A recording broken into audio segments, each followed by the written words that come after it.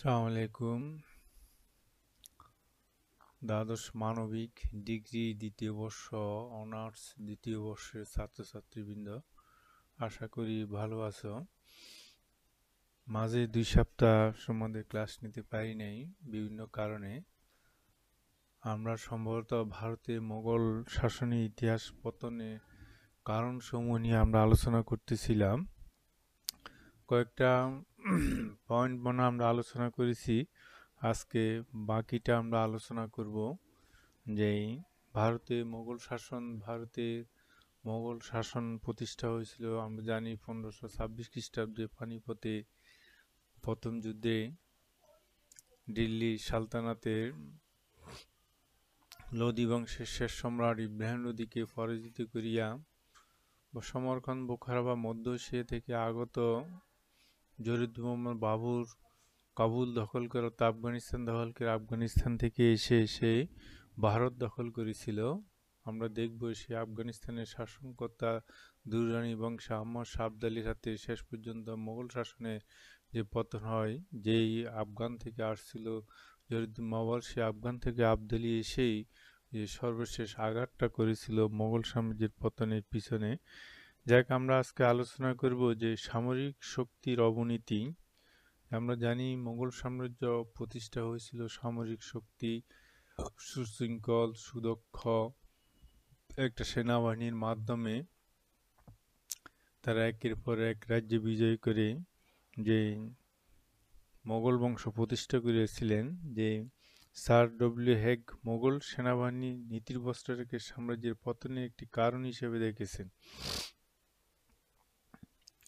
যে উল্লেখ করা যায় যে পরবর্তী মোগল যুগে বেসামরিক অভিজাতদের সাথে সমর অভিজাতদের নৈতিক অধপতন ঘটে, সামরিক অভিজাততন্ত্রের এই অধপতন মুঘল সাম্রাজ্যে সেনাবাহিনীর রণদক্ষতা আর শৃঙ্খলার উপর মারাত্মক নেতিবাচক ফল ফলে। অর্থাৎ যে শক্তির পর যে তাদের সাম্রাজ্য প্রতিষ্ঠা, সেই শক্তি যে নৈতিক অধপতন, সেনাবাহিনীর ভিতর বিশৃঙ্খলা, অদক্ষতা, অযোগ্যতা ক্ষমতালিস্য ইত্যাদির কারণে আমরা দেখি যে পরবর্তী মোগল সাম্রাজ্যকে তারা ধরে রাখতে পারে নাই, যে এই ক্ষেত্রে আরও যে যে বাবর থেকে আরঙ্গজেব পর্যন্ত যে সেনাবাহিনী, যে তারা যুদ্ধবিদ্যায় যে পারদর্শী ছিল, তখন সেনাবাহিনীরাও সাহস, শৃঙ্খল সংগঠন ছিল চমৎকার। কিন্তু সাম্রাজ্য অধগতির সাথে সাথে সামরিক শক্তির অবনতি ঘটতে থাকে। সেনাবাহিনীর শৃঙ্খলা বোধ, আনুগত্যের অভাব দেখা দেয়। বিশেষ করে আফগান ফার্সিক এবং হিন্দুস্তানি বিভিন্ন জাতি স্বনম্বর গঠিত সেনাবাহিনীর মধ্যে কোনো ঐক্য বা সাম্রাজ্যের প্রতি তাদের প্রীতি এবং মহত্ববোধ ছিল না। সাম্রাজ্যের বৃহত্তর কল্যাণ এবং স্বার্থ চিন্তা না করে তারা নিজ দল এবং গোষ্ঠীর সংরক্ষণ এবং শত্রুমুখের অবহেলা পদ্ধতি অন্য গ্রুপের আধিপত্য স্থাপনে তৎপর ছিল। এইসব কারণেই যে পরবর্তী পর্যায়ে আমরা দেখি যে সেনাবাহিনী, যে যুদ্ধবিদ্যা দক্ষতা তাদের হ্রাস পায় এবং বৈদেশিক আক্রমণ থেকে সাম্রাজ্যকে রক্ষা করতে তারা ব্যর্থ হয় এবং পরবর্তী পর্যায়ে তাদের, যে তাদের, যে ব্যক্তিগত বিরক্ত ব্যতীত বিশৃঙ্খলা, সংহতির অভাব তারপর বিলাসপ্রিয়তা অকর্মতা, কর্মবিমুখতা, সেনাবাহিনীর রসদ সর্বকারী বিভাগের অবহেলা, অবৈজ্ঞানিক ভারী সমরাস্ত্র প্রভৃতি দোষ ত্রুটি, মোগল সামরিক শক্তির অবনতি ঘটে। এটা একটি রাজনীতি, রাজ, রাজতান্ত্রিক সমরাষ্ট্র ছিল, যে সামরিক শক্তির উপরে সামনে যে প্রতিষ্ঠিত। পরবর্তী পর্যায়ে যখন এই সামরিক শক্তি অধপতন হয়, যে বিশৃঙ্খলা হয়, যার কারণে এই সাম্রাজ্যকে তারা ধরে রাখার ব্যাপারে আসে দক্ষতা, যোগ্যতা, বিচক্ষণতা দেখাতে তারা যে পারে নাই। এই কারণে ঐতিহাসিকরা বলতেছেন যে যে সেনাবাহিনী এই দুর্বল হয়ে যাওয়া মোগল সাম্রাজ্যের পতন অনেকটা নিশ্চিত করে। দেশ সামরিক শক্তি অর্থাৎ দেশের প্রতিরক্ষা ব্যবস্থাটা সামরিক বিভাগের উপরেই যেই নির্ভর করে, যে এই ক্ষেত্রে আমরা দেখি যে তাদের যে সামরিক শক্তি, চরম অবনতি ঘটেছে। তারপর আছে নৌবাহিনীর দুর্বলতা। এরা মধ্য এশিয়া থেকে আসছে বা আফগানিস্তানে আসছে। এইসব অঞ্চলের দিকে যে মোগলদের নৌপথে তাদের অভিজ্ঞতা কম ছিল। কিন্তু পরবর্তী পর্যায়ে আমরা দেখি যে আকবরের সময় তারা কিছুটা নৌবাহিনী তারা গঠন করেছিল। যে সম্রাট আকবর যে নাও আরা নামে একটি নৌবাহিনী গঠন করেছিল। যে বিশেষ করে যে এই, এরা স্থলযুদ্ধে অভিজ্ঞতা সম্পন্ন ছিল। কিন্তু নৌযুদ্ধে তাদের, তারপর আকবর এটা গঠন করেছিল। কিন্তু পরবর্তী শাসকদের এই নৌবাহিনীর প্রতি দুর্বলতা যে পরিলক্ষিত হয়, যার কারণে যে উপকূলীয় অঞ্চলে যে পর্তুগিজ আসছিল, তারপরে ফরাসি এবং ইংরেজরা আসছিল, এসব দেশগুলো কিন্তু যে তোমরা জানো কিনা আমি জানি না, ইংরেজরা হচ্ছে বা এই ব্রিটিশরা হচ্ছে সবচেয়ে শক্তিশালী নৌশক্তি সম্পন্ন দেশ। পৃথিবীর ইতিহাসে দেখা, তাদের সে সে শক্তিশালী যে নৌবাহিনী আর বিশ্বে কোথাও কারও নাই। আমরা ইউরোপের ইতিহাস পড়তে আমরা দেখেছি যে যে বিভিন্ন যুদ্ধে তারা, যে জয়লাভ করেছিল নৌবাহিনী দিয়ে।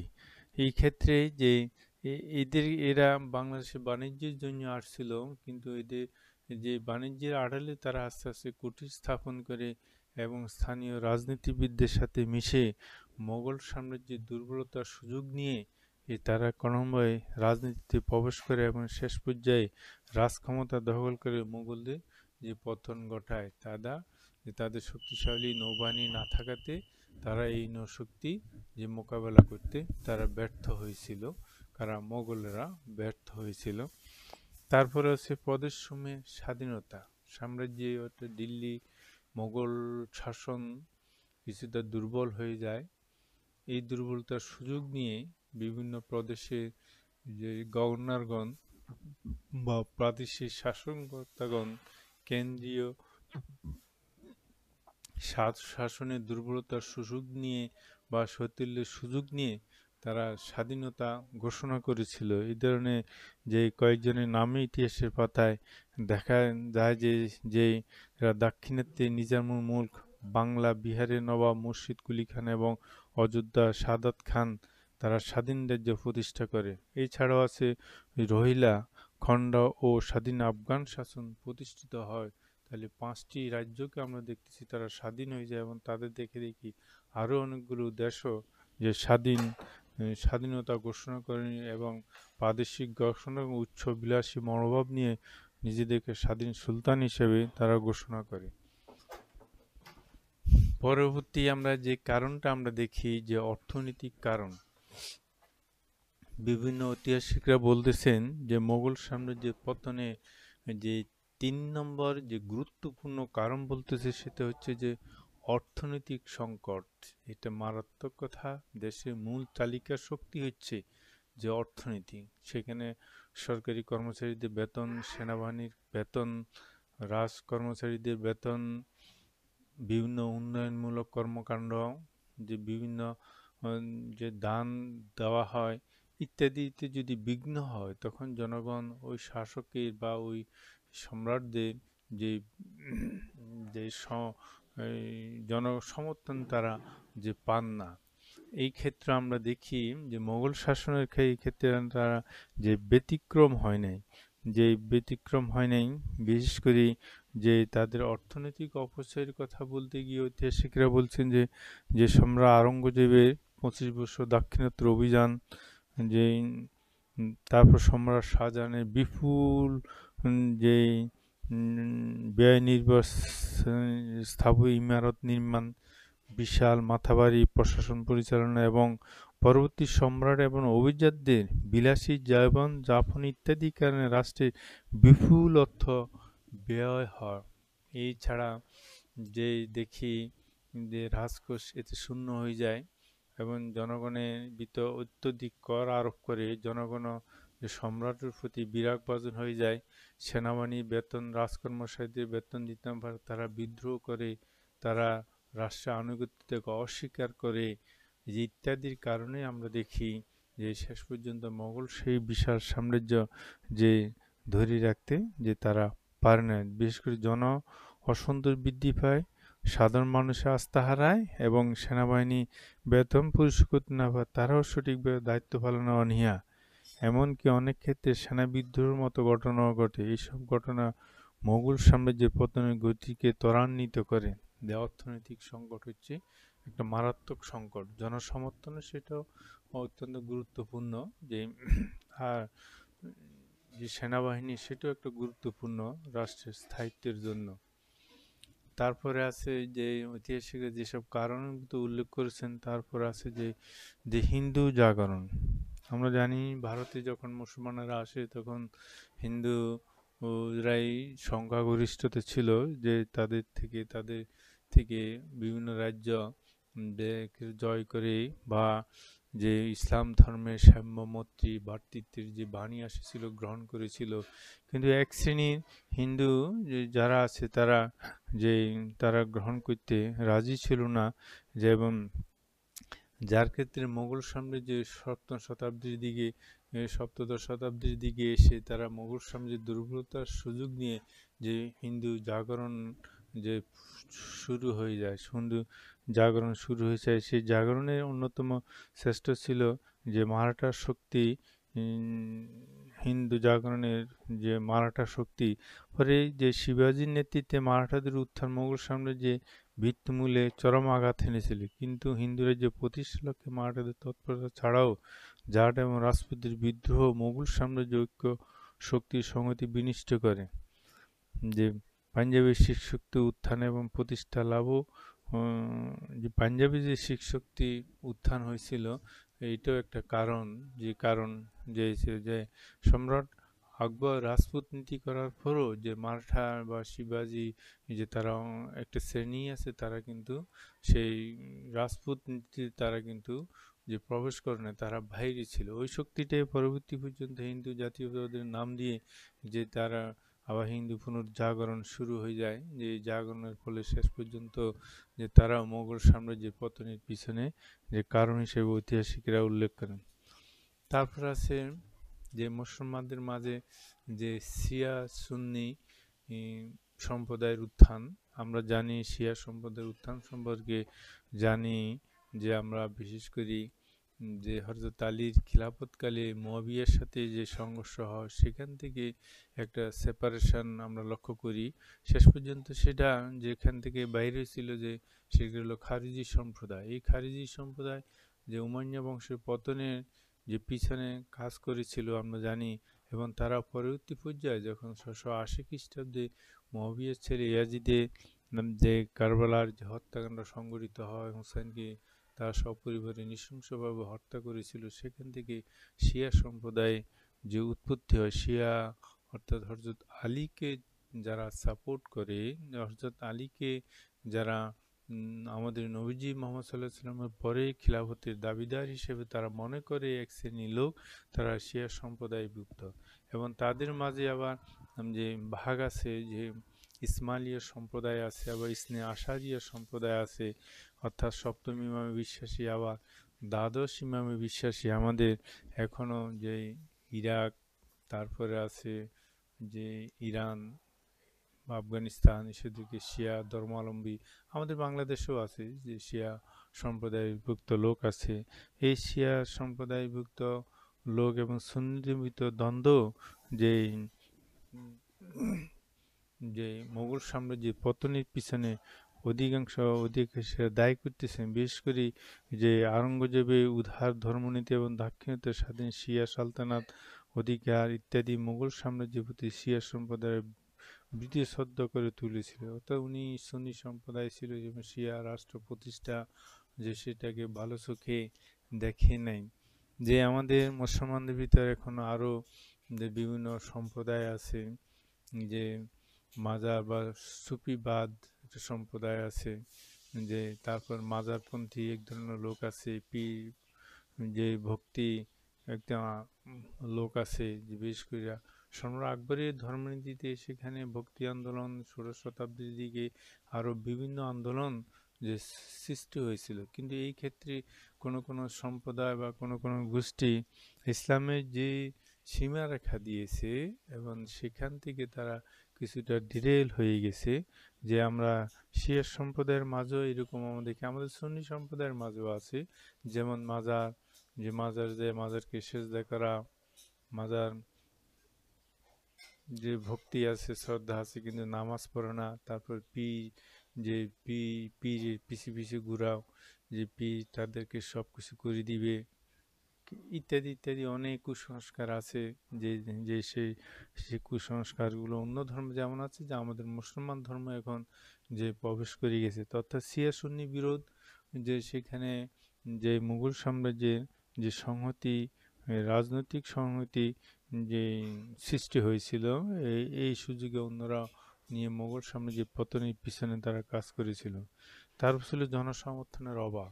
অর্থাৎ শাসন, শাসক যদি ভালো শাসন উপহার না দিতে পারে, তাহলে সেখানে জনসমর্থন হ্রাস পায়, এটাই স্বাভাবিক। যে জনগণের মৌলিক চাহিদা পূরণ, তারপর রাস্তাঘাটের উন্নয়ন, মসজিদ, মাদ্রাসা শিক্ষা ব্যবস্থার উন্নয়ন ইত্যাদি যদি না করা যায়, তারপর এরপরে আছে জনগণের উপর যদি অত্যধিক কর আরোপ করা হয়ে থাকে তাহলেও সেখানে জনগণ সরকার থেকে বিমুখ হয়ে যায়।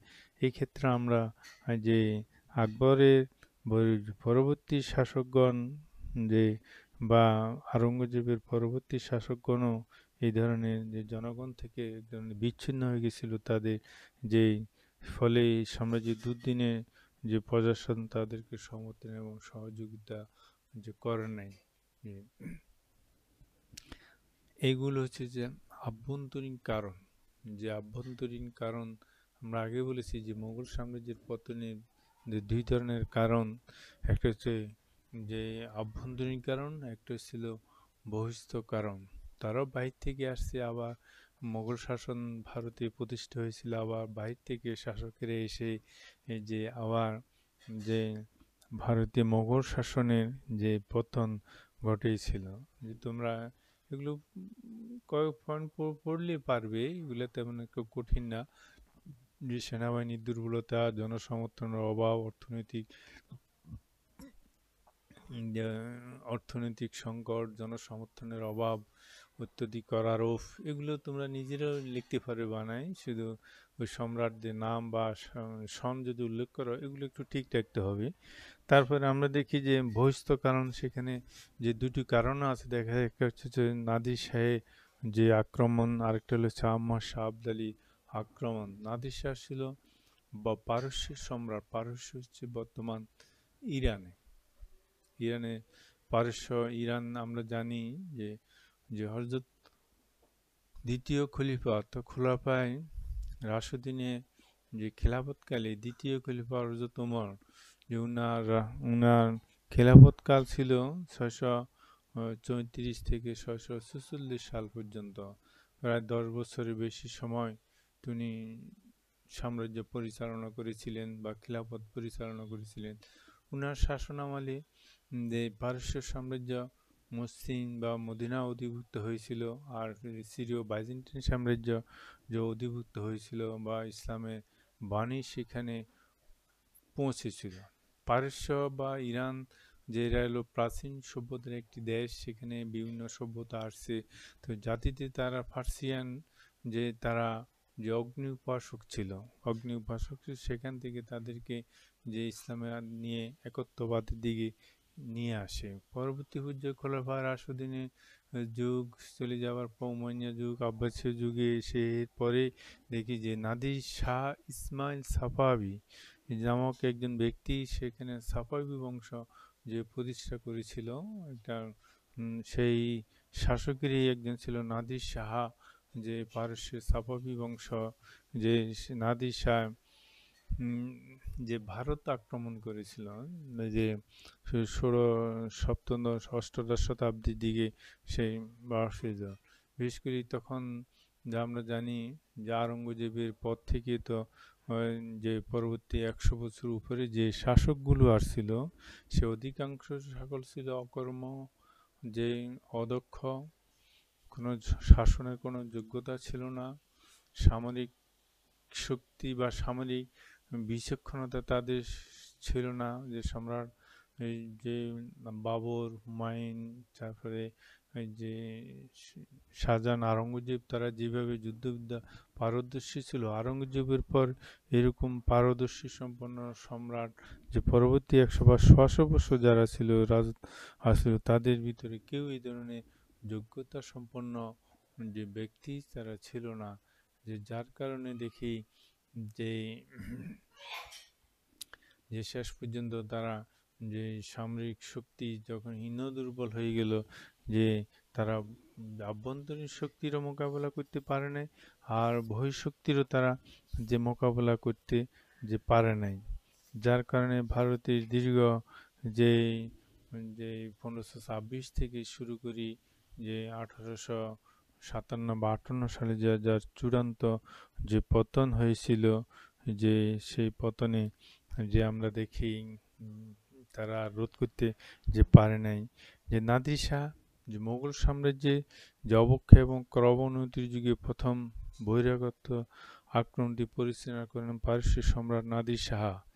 তিনি একজন সুনপিন যোদ্ধা এবং দুঃখ কূটনীতি বিশারদ মোগল সাম্রাজ্যের দুর্বলতার সুযোগ নিয়ে সতেরোশো উনচল্লিশ খ্রিস্টাব্দে ভারত আক্রমণ করেন। এই পয়েন্টটা তো মনে রাখবে যে নাদির শাহ কখন ভারত আক্রমণ করে? আমাদের যে সংক্ষিপ্ত প্রশ্ন দিতে পারে, নাদির শাহ কখন ভারত আক্রমণ করে?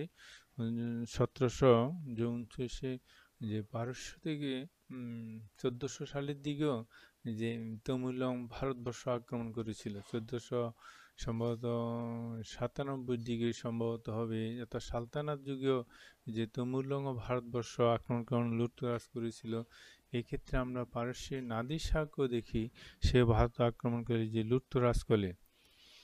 যে আক্রমণকারী শেষে কর্ণালীর যুদ্ধের সম্রাট মোহাম্মদ শাহকে পরাজিত করে দিল্লিতে পৌঁছান এবং সেখানে গিয়ে সে ব্যাপক লুটতরাজ এবং গণহত্যা চালান। নাদির আক্রমণে যে দিল্লি ধ্বংস হয়ে পড়ে লক্ষাধিক লোক প্রাণ হারায়। অবশ্যই সম্রাট মোহাম্মদ শাহের অনুদিন সেই হত্যাযোগ্য ধ্বংসযোগ্য থেকে নিবৃত্ত হয়ে একটা চুক্তি করেছিল। এই চুক্তি অনুযায়ী সেই সিন্ধু কাবুল এবং পশ্চিম পাঞ্জাব নাদিসাকে ছেড়ে দিতে বাধ্য হয় তিনটি প্রদেশ, যে সিন্ধু, কাবুল এবং পশ্চিম পাঞ্জাব। এছাড়া যে নাদির শাহ স্বদেশ প্রত্যাবর্তনের সময় যে পনেরো কোটি টাকা মণি, মুক্তা, অলঙ্কার আদি সম্রাট শাহজাহানের জগৎ বিখ্যাত ময়ূর সিংহাসন এবং কোহিনুর মণির সাথে নিয়ে যায়। অর্থাৎ পনেরো কোটি টাকা মণিমুক্ত তারপরে ময়ূর সিংহাসন এবং হীরার মুকুট যেটা ছিল সেটা তার সাদিশা নিয়ে যায়। এবং নাদির শাহ সে তবে এটি তখন রাজনৈতিক মেরুদণ্ডের অর্থনীতির দিক থেকে দুর্বল অন্তঃশাসনের সাম্রাজ্যে পরিণত অর্থাৎ তারা এটা রক্ষা করতে পারেনি পরে এখন এই ময়ূর সিংহাসন বা এই যে যে হীরার মুকুট এখন ব্রিটেনে আছে, যে বা শাহ থেকে ইংরেজরা যখন যে মধ্যযুগে এই পুরো এশিয়া মহাদেশ শাসন করছিল, তখন সেখান থেকে তারা কি, কীভাবে যে তারা নিয়ে গেছিল এখন সেটা ইংল্যান্ডের রানীর যে মুকুট পান সেই মুকুটেই ভারতবর্ষেরই যে অর্থ দ্বারা নির্মিত হয়েছিল সেই কোহিনুর মুকুট যে তারা এখন নিয়ে যায়। যে বেশ করে এই এরপর পরে আবার যে আবার যে যে এই এইভাবে যখন দেখা যাচ্ছে যে যে অন্তঃসাহ বা মেরুদণ্ডিনী যে যে সম্রাট দেখে যে পরবর্তী পর্যায়ে যে মোগলদের কি অবস্থা সেটা পৃথিবীর বুকে যে অন্যান্য রাষ্ট্রপ্রধান বা সরকার প্রধান জনগণ সেটা যে দেখতে হলো যে মোগল সাম্রাজ্য কত দুর্বল, কত হীন, কত অথর্ব হয়ে গেছে। কাবুল এবং সিন্ধুর পশ্চিমস্ত ভূভাগ মোগলদের হস্তচ্যুত হওয়াতে ভারতবর্ষ প্রতিরক্ষা অগ্রবর্তী ভূমি এবং পশ্চিম এশিয়ার রাজনৈতিক ঘটনা পর্যবেক্ষণ করা সুবিধার অবস্থা থেকে তারা বঞ্চিত হয়। অর্থাৎ এই ভূভাগ ছেড়ে দেওয়ার ফলে যে তাদের প্রতিরক্ষা ব্যবস্থা অনেকটা দুর্বল হয়ে যায়। এই হলো নাদির শাহের আক্রমণ। এই নাদির শাহের আক্রমণের ধ্বংস যজ্ঞের পরপর অত ঐতিহাসিকরা বলতেছেন যে তাদের এই আক্রমণের কত সুখেতে না সুখেতে আবার যে আফগানিস্তানে যে দুর্রানি বংশ প্রতিষ্ঠা হয়েছিল, যে ওই দুর্রানি বংশে যে আহমদ শাহ আবদালি যে সতেরোশো আটচল্লিশ থেকে সাতষট্টি সাল তার রাজত্বকাল ছিল, সেখানে সে কয়েকবারই যে আক্রমণ করেছিল ভারতবর্ষ। এবং সতেরোশো আটচল্লিশ খ্রিস্টাব্দে যে আবদালি কান্দাহার কাবুল এবং পেশোয়ার জয় করে পাঞ্জাব আক্রমণ করে। তবে মোগলদের হাতে পরাজিত হয়ে ফিরে যান। এইভাবে পরে পঞ্চাশ খ্রিস্টে তিনি পুনরায় আক্রমণ করে পাঞ্জাব অধিকার করে। আটচল্লিশে পরাজিত হয় পাঞ্জাবে পঞ্চাশে সে জয়লাভ একান্ন খ্রিস্টাব্দে সে আবার কাশ্মীর জয় করে। এইভাবে দেখা যায় যে যে পূর্বে শহরহীন পর্যন্ত এলাকা তার অধিকারে আসে অর্থাৎ একদিকে নাদির শাহ নিয়ে গেল কিছু অংশ, আবার আম্মা শাহ আবদালিও নিয়ে গেল যে শেষ আঘাতটা করেছে যে কাবুল অধিপতির যে কাবুল থেকে বাবুর এসে ভারতে মোগল বংশ প্রতিষ্ঠা করেছিল, সে কাবুল থেকে আসে তারা আক্রমণ করে আবার যে মোগলদেরকে তারা বিধ্বস্ত করেছে। শেষ পর্যন্ত যে পনেরোশো ছাব্বিশ হয়ে, যে পনেরোশো না, সতেরোশো ছাপ্পান্ন খ্রিস্টাব্দে পুনরায় আবার আক্রমণ করে। সম্রাট দ্বিতীয় আলমগীর পরাজিত তিনি দিল্লি দখল করে দিল্লিতে হত্যা লুণ্ঠনযোগ্য চালানো হলে মুঘল সম্রাট আমা শাহ আবদালির সাথে সমঝোতা করেন। এখানে তারা সমঝোতা করতে বাধ্য হয়। এই সমঝোতা অনুসারে আবদালি অধিকৃত পাঞ্জাব, কাশ্মীর, সিন্ধু, সরহীন তার কর্তৃত্ব স্বীকার করেন। তাহলে চারটি প্রদেশ তাকে ছেড়ে দেওয়া হয়। নাদির শাহের যে আক্রমণের পতনমুখ মুঘল সাম্রাজ্যের বিদকে আরও দুর্বল করে দিয়েছে যে আবদালি ধ্বংস মুঘল সাম্রাজ্যকে একটা প্রচণ্ড আর হাকাতে তার বারবার ভারত আক্রমণ মুঘল সাম্রাজ্য সাম্রাজ্যে ধস, ধসে পড়ে। জামর শাহ আবদালি আক্রমণ এবং লুণ্ঠনের আঘাত মুঘল সাম্রাজ্যের অর্থনৈতিক অবস্থা খারাপ হয়ে যায়। পরে পরে যে পরাজয়, গ্লানি, যন্ত্রণা, লাঞ্ছনা আর অবসাদে মোগল সাম্রাজ্যে মর্মস্য অবস্থায় পরিণত হয়, এতে নবজীবন লাভের মতো আর কোনো শক্তি তাদের থাকল না। আর তাদের এই দুই আক্রমণে তারা এত বিধ্বস্ত হয়ে গেছে, সেখানে ফিরে দাঁড়ানো। শেষ পর্যন্ত আমরা দেখি যে পানিপতির তৃতীয় যুদ্ধ, তোমরা জানো পানিপতির তিনটা যুদ্ধ হয়েছে। অ্যাকচুয়ালি পানিপতির তৃতীয় যুদ্ধ, এই তৃতীয় যুদ্ধ হয়েছে যে যে কাবুলে দুরানি বংশ শাহ আমর শাহ আব্দুল ইসলাম মারাঠা শক্তি। মারাঠা শক্তিকে সে ভেঙে দিয়েছিল সত্য। তবে যে সেই কিন্তু মোগলেরা আর পুনর, পুনরুত্থান হইতে পারল না বা তাদের আর কোনো সম্ভাবনাই ছিল না। বরং মারাঠা শক্তির পতনের ফলে, মারাঠাদের পতন হয়েছে ঠিক কিন্তু এদিকে, শিখ শক্তির উত্থান হয়েছিল। একটা শক্তি উত্থান হয়েছে আর একটা মারাঠাদের পতন হয়েছিল আমার সাবধ পানিপতি তৃতীয় যুদ্ধ। তোমরা যেন রক্তাক্ত প্রান্তরে যেটা পড়েছো, তোমরা ওইটাই যে পানিপতি তৃতীয় যুদ্ধ। মারাঠা অধিপতি শিবাজির সাথে যে যে আহমদ শাহ আবদালি দুররানি বংশ আফগানিস্তানে একটা স্বাধীন সতেরোশো সাতচল্লিশ সালের দিকে দুররানি বংশ আফগানিস্তানে প্রতিষ্ঠিত হয়েছিল আহমদ শাহ দুররানি। যে সে তার হাতে যে মারাঠা শক্তির পতন হয়।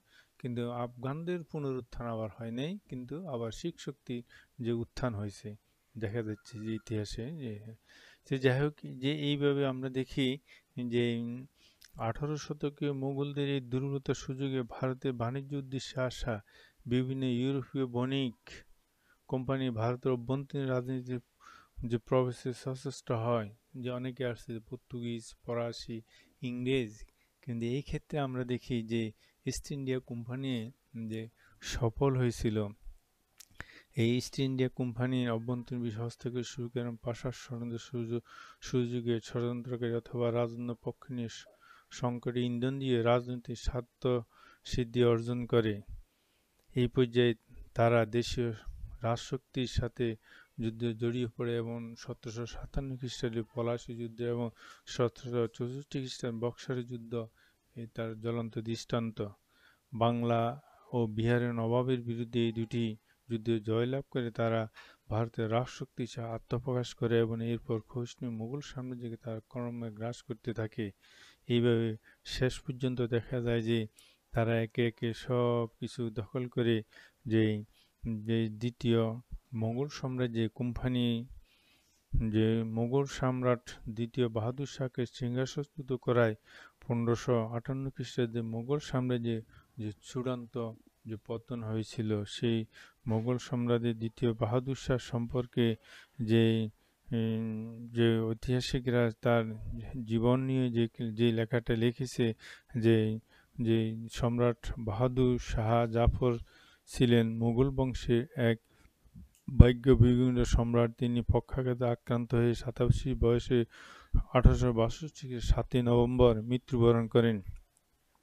ইংরেজ সরকার রেঙ্গুন শহরে এক নির্জন এলাকায় সম্রাটকে সমাহিত করে। ভারতের প্রয়াত প্রধানমন্ত্রী রাজীব গান্ধী মায়ানমার সফরে গিয়ে তার সমাধি, সৌধ পরিদর্শনকালে পরিদর্শন বইতে লিখেন যে যেতে হিন্দি ভাষায় লিখেছেন যে যে যে যে দুই জগ, দুই গজ জমিন নো না মিলি হিন্দুস্তান মে ফারতেরি কুরবানি যে ওঠি আজাদি কি আওয়াজ। বদ নসিব তো নাহি জাফর, জুড়া হায় তেরা নাম ভারত শান আউর শৌকত যে আজাদি কি পয়গাম সে। অর্থাৎ যে সে যে কথাটা বলতেছে যে তোমার এই যে তুমি যে নির্বাসনে যে মারা গিয়েছো সেখানে যে তোমার তোমার এই নির্বাসনকে আমাদের আজাদি আন্দোলনে যে ভারতবর্ষকে ইংরেজ শাসন আমাদেরকে উৎসাহ যোগাইছিল। এই কথাটা উনি তার বইতে তার পরিদর্শন বইতে যে লিখেছিলেন যাই হোক যে আমরা দেখি যে সেখানে যে ঐতিহাসিকরা আরও বলছেন যে, সেখানে যে আঠারোশো আটান্ন খ্রিস্টাব্দে সাতাশে জানুয়ারি বাহাদুর শাহ জাফরের বিচার শুরু হয় এবং বিরোধী হিংসা দীর্ঘ একুশ দিন ধরে বিচার কাজ চলে। তার বিরুদ্ধে চারটি অভিযোগ এনে প্রতিটিতে তাকে দোষী সাব্যস্ত করা, অতঃপর সম্রাটকে একজন বিশ্বাসঘাত অপরাধ সংগঠন, সংগঠনকারী দুর্বৃত্তি সাব্যস্ত করে যে আঠারোশো আটান্ন খ্রিস্টাব্দে অক্টোবরে মায়ানমার রেঙ্গুনে নির্বাসনে পাঠানো হয় স্ত্রী জিনাত মহল, পুত্রবধূ রৌনক জাহান এবং এক নাতিকে তার সাথে দেওয়া হয়। বাহাদুর শাহকে সিংহাসনচ্যুত নির্বাসনে পাঠানোর মধ্যে দিয়ে ভারতের জহিরুদ্দিন মোহাম্মদ বাবর কর্তৃক পনেরোশো ছাব্বিশ খ্রিস্টাব্দে প্রতিষ্ঠিত মুঘল রাজবংশের শাসনের অবসান ঘটে। এই হলো ভারতের মোগল শাসনের যে ইতিহাস। যে পনেরোশো ছাব্বিশ থেকে আঠারোশো আটান্ন সাল পর্যন্ত এই দীর্ঘ প্রায় সোয়া তিনশো আঠারোশো সতেরোশো পনেরোশো ছাব্বিশ তিনশত বছরের অধিকাল সময় তারা যে রাজত্ব করেছিল, যে ভারতের ভারতবর্ষকে শেষ পর্যন্ত এরপর ইংরেজরা আসে, ইংরেজ থেকে আবার আমরা স্বাধীন সার্বভৌম রাষ্ট্র হিসেবে পুরো পশ্চিম পাকিস্তান আবার পশ্চিম পাকিস্তান থেকে আমরা উনিশশো একাত্তর সালে আবার আমরা বাংলাদেশ স্বাধীন সার্বভৌম রাষ্ট্র হিসেবে আমরা স্বীকৃতি লাভ করি।